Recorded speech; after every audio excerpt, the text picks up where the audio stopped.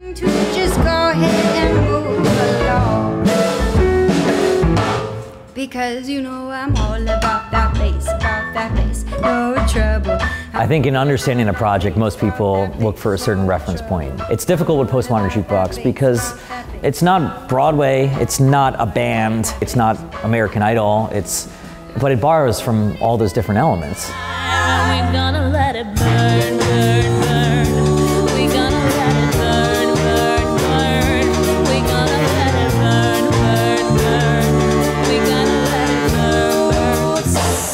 Postmodern Jukebox is a collective of artists that takes today's biggest pop hits and imagines if they were recorded by the greats of yesteryear. When Postmodern Jukebox began, I remember just calling a few of my talented musician friends over, told them we were going to record this pop song in this style and just do it as an experiment. I, I paid everybody in falafel sandwiches. I got a video camera and started recording these pop culture experiments and playing songs in different styles, just like I did when I was a kid. When I was growing up, I was really into jazz and ragtime and Motown and all these early styles of music, and I fell in love with the piano.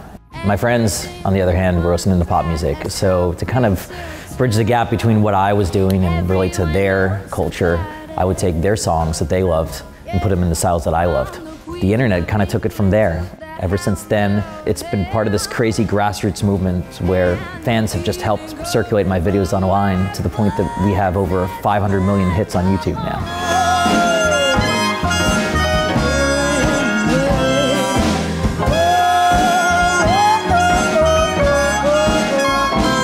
And this is the first time we've ever done a greatest hits compilation.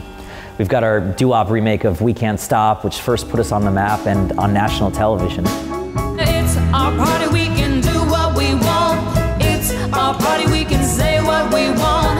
It's our party, we can love who we want. We can kiss who we want. We can live how we want. We've got kind of a 1970s soul take on Maroon 5's Maps that has some of the most astounding vocals you're ever going to hear by any singer. But I wonder where were you when I was at my worst down on my knees. And you said you had my back, and I wonder where were you when all the roads you took led back to me. Of course, we included our most watched video ever, which now has 21 million views. It's a version of Creep by Radiohead featuring the amazing Haley Reinhart.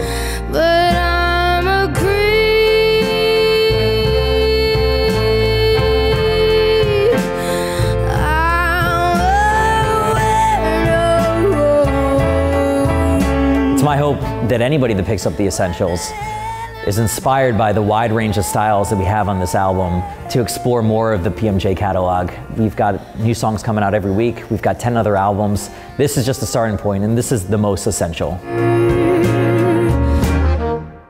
I don't care if it hurts.